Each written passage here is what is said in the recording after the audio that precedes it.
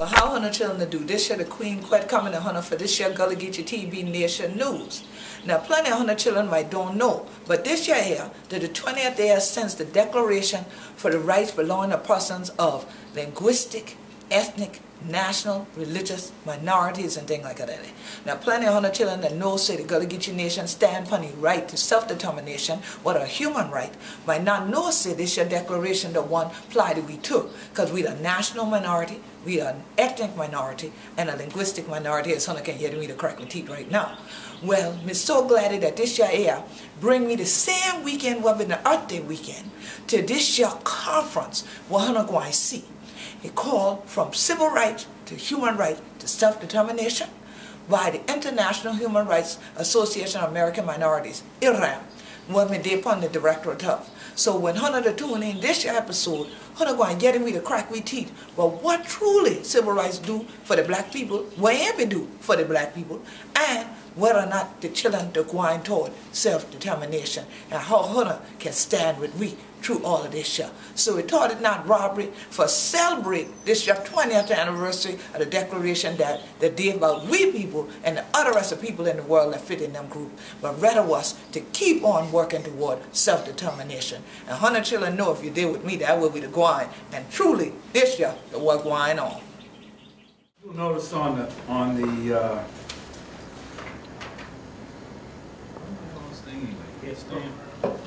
speaker stand, Podium. Podium. Thank you. Lost word. When I grew up, it was a pulpit. I know that's right. Uh, the reason I'm calling your attention to is just like in, in terms of if President Obama was here, there'd be the presidential seal. We've been blessed this, this afternoon uh, to have a head of state, a head of state of a nation significant to us as African Americans. And that's the, head of state of the Gullah Geechee Nation. Queen Quet is a published author, computer scientist, lecturer, mathematician, historian, columnist, preservationist, film consultant, and artist. She is the founder of the premier advocacy organization for the continuation of the Gullah Geechee culture, the Gullah Geechee Sea Island Coalition. Queen Quet has not only provided histor historical musical presentations throughout the world, but was also the first Gullah, uh, Gullah Geechee person to speak on behalf of her people before the United Nations in Geneva, Switzerland. Queen Quet was one of the first of seven inductees to the, the Gullah Geechee Nation Hall of Fame. She received the Anointed Spirit Award for her leadership and for being a visionary. In 2008, she was recorded at UNESCO headquarters in Paris, France, at a United Nations conference in order to have the human rights story of the Gullah Geechee people archived for the United Nations. Mm-hmm. In 2009, she was invited by the Office of the High Commissioner of the United Nations to come and present before the newly founded Minority Forum as a representative of the Gullah Geechee Nation and of IHRAAM for the, which is an NGO in consultative stance with the United Nations. Queen Quet is a director, member of IHRAAM and for the International Commission on Human Rights. She represented these bodies and the Geechee Nation at the United Nations Forum on Minority Rights. Queen Quet has won countless awards for being a woman of distinction, for her scholarship, writings, artistic presentation, activism, cultural continuation, and environmental preservation.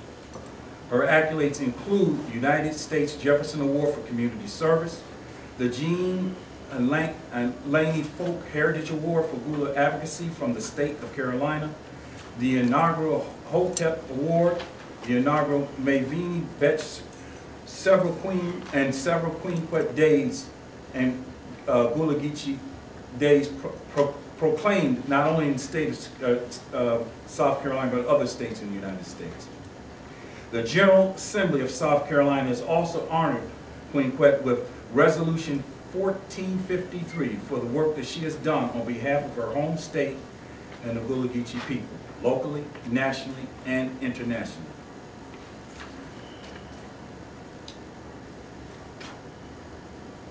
Queen Quet was selected elected and installed by her people to be the first Queen Mother and official spokesperson for the Gullah, Geechee Nation. As a result, she is respectfully referred to as Queen Quet, Chiefess of the Gullah Geechee Nation and head of state. And as protocol calls, I would ask that you all stand as we welcome our next. Oh no, don't turn back.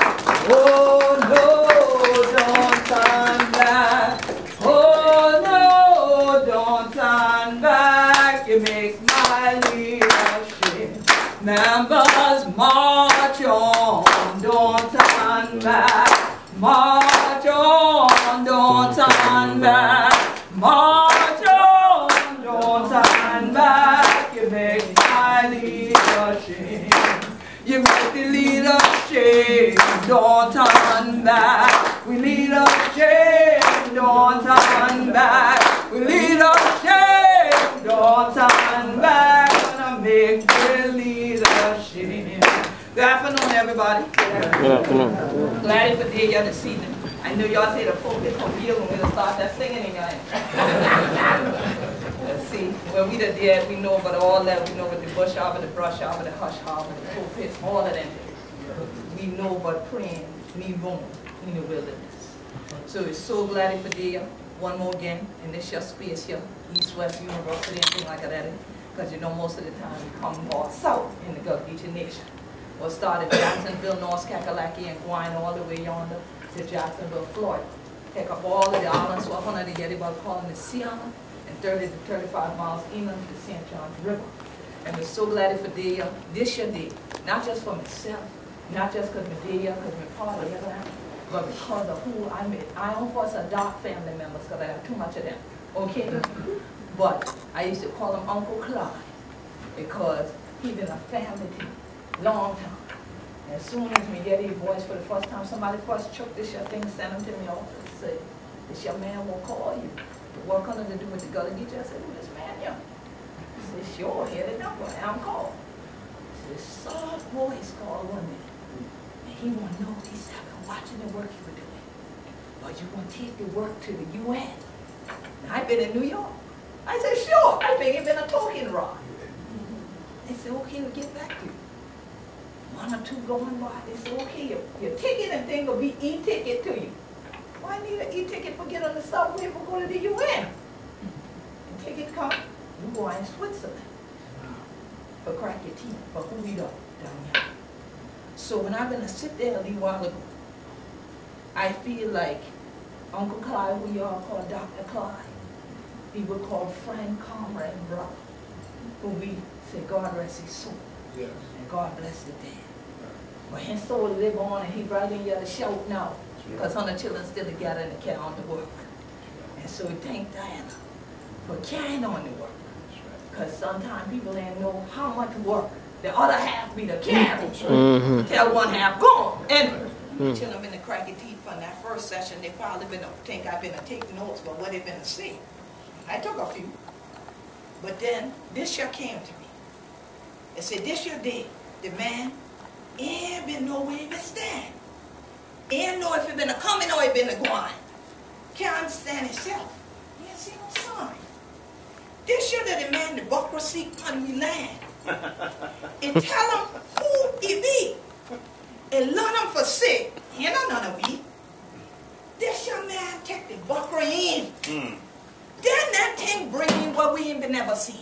Mm-hmm. Come in with this your money and teeth the sand. Huh. That thing ain't even be funny. This year been to look upon the shiny thing. And for us know destruction man, the way to bring. Mm-hmm. When they get you, it been the walky land and stay in the house too. Now it'll walk for the buckra and he'll tell them what to do. Mm. The thing try to spread this your crackiness the weed. Huh. He ain't tell for thing. Cause he ain't know who we be. So we run this your jack to the station. Where he run into been a man that man determination. if it is agreed that, quote, culture is the highest social and historical expression of the every means, of the highest expression of spiritual development, end quote. And that man has a duty to preserve, practice, and foster culture by every means within its power, then Gullah Geechees have the right to do that like any other culture people. Amen. Mm-hmm. So, something that I recently wrote in terms of the case we currently have, and then for the paper for this conference that y'all can read later on. I never like to come to something to read to grown folk. I feel like you ought to know how to read. All right? But I just want to read some of the quotes from it because as a directorate member for IHRAAM, the reason we thought it was critical to have a conference like this is so that you understand we're not just another group. We're not just another organization. We're not just another NGO. In fact, it's very critical, and I was very glad you paused and went back to say it. We're an NGO with consultative status with the UN, which is different than the thousands to tens of thousands of NGOs that probably exist. And that is critical to this effort that we've been talking about for these two days. So that you understand, IHRAAM is here as an organization to provide support and to provide the education to create the atmosphere that my brother just spoke about, where there is already a knowledge base of human rights. And I always tell people, I got my education in human rights from baptism by fire. Because I was sent to the UN, as I mentioned to y'all, with no instruction other than go and be well. Here's your ticket. And that was it. Well, okay, when I get there, where do I go? Uh, we'll have people pick you up. These brothers had a sign. And I came out, I was like, it's me, greeting sister. I told them, like, come with us. Got in the car, they said like maybe 10 words. Got to the hotel, they checked me in at the desk. They made sure I was safe in the room, said, all right, have a good rest. And they left. And I didn't see these people again until the next day. And they came and they said, they called first. They said, we just want to make your, sure you're up, we'll pick you up in an hour and we'll take you over and you get your ID and you'll go to the UN and the Kosovo incident was going on. So there were armed guards everywhere. And the first morning I went in by car. The next morning I done figured this out. I said, oh, I'm on my own, I get it. I'm gonna figure out how I get in out of this place on my own. And I did that. But here me, Gullah Geechee down, walking up to these people in the morning, good morning, how you feel? Man standing here with guns looking like, is she talking to us? like nobody talks to us, right? Couple of them nod. By the next day when I showed up, they were used to me. Everybody else went by, I'm like, good morning. Were, Good morning. you know, mm. like that. But that's my culture. It is who I am no matter where I go. But now, what I went to get was something I had to bring back home, just like I had taken home out where I had gone. And so over my years of learning, there was no cheat sheet. Dr. Clyde would say, hey, read this. And then he'd call and say, what did you think of what I asked you to read? And now I need to present to him what I saw. And I thought we just having a conversation. And at the end, he would say, very good. And I said, oh, I get it now. I'm, the, I'm a student. And I'm being tested. so I think today he would be proud to know that I continue reading without him having to send material anymore. And so, just so happens, I think that's why in 1740, when the slave codes came into existence after the 1739 Stono Rebellion took place in the Gullah Geechee Nation, one of the first components thereof was that no Negroes were to read or write. No Negroes were to own land. Mm-hmm. No three or more Negroes were to gather without an overseer present. That is why I'm very clear to y'all the difference between an overseer and a driver. Okay, driver could have been there. An overseer couldn't because the driver was still looking like you. The overseer wasn't. All right? And no drums were to be played. Mm. So I see y'all have kept with that restriction at this conference. I haven't heard a drum yet. but that reading thing, y'all breaking the law. it has not been rescinded. So here it is. As I read, I read the words I just shared with you all. And I said, isn't that interesting? And here it is, I further read and said this. The lack of access to land and natural resources can produce conditions of extreme poverty for the affected indigenous communities. Given that the lack of possession of mm-hmm. and access to mm-hmm. their territories prevents them from using and enjoying the natural resources that they need to obtain the goods necessary for their subsistence. Mm. You know where we come from. don't you? Mm-hmm. All right. Develop their traditional cultivation. Okay? Hunting, fishing, or gathering access. Accessing traditional health systems, my sister, Mm-hmm. and other key socio-cultural functions. Mm-hmm. Therefore, the lack of access to ancestral territories and the lack of state action in this regard exposes indigenous and tribal people to precarious or subhuman living conditions in the fields of access to food, water, Mhm. dignified housing, basic utilities and health, and consequently bear an impact inter alia upon higher rates of, here we go my sister, child and mm-hmm. infant mortality mm-hmm. and malnutrition, mm-hmm. higher vulnerability to illness and epidemics. And based on my brother's presentation, I would think you just described an epidemic of violence against people in our own community at the hands who say they come to serve and protect. Mm-hmm. I continue.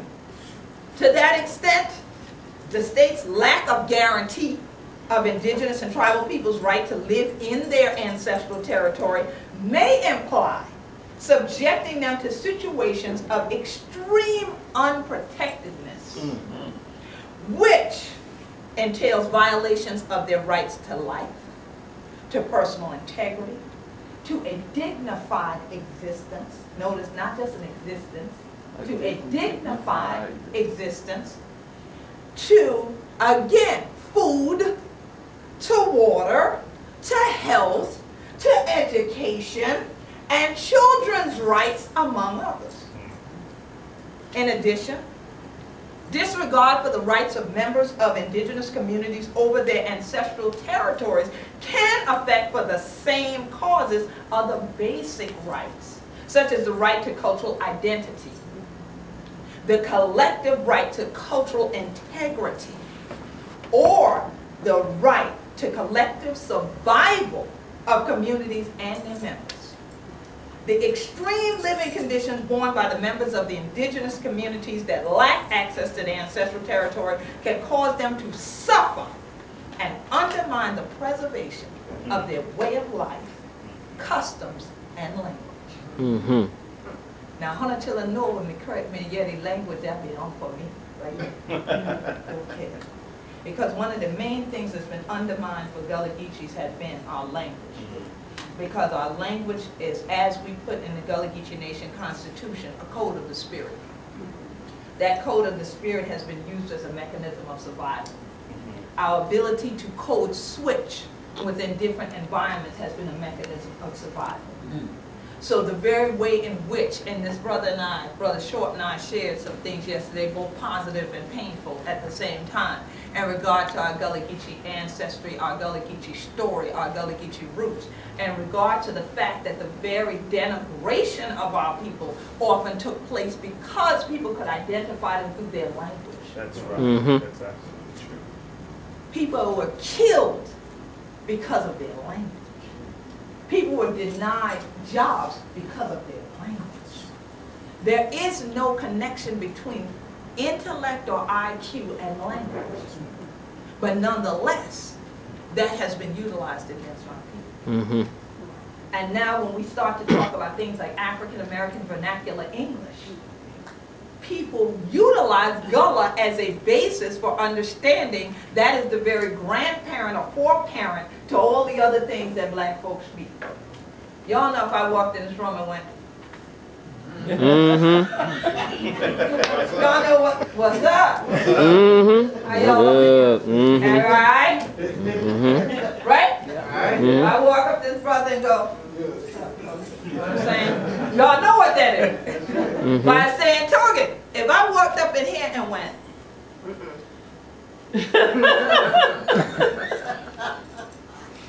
y'all know what that means. Mhm. Before I even got to this part, y'all was like, oh, I'm glad she ain't looking at me. That brother's back there look like they was about to All right, the song getting low, ain't even playing. All right.